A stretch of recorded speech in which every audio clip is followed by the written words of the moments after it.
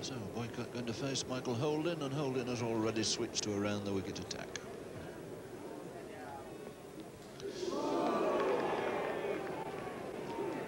Last minute uh, reaction there from the Yorkshireman, just uh,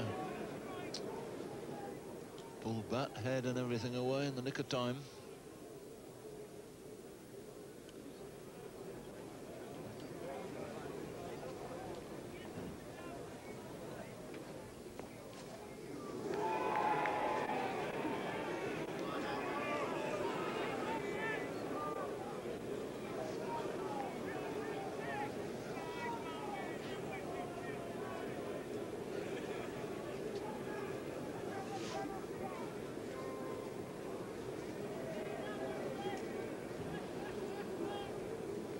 So Geoffrey Boycott having a pretty tough time with it out there at the moment.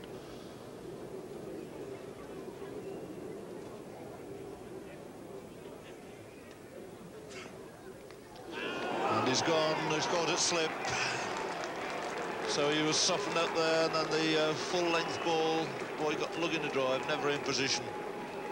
And the breakthrough for West Indies, disposing of Boycott for four to a catch by Kallicharran at first slip with Holding the bowler going down with just nine runs on the board.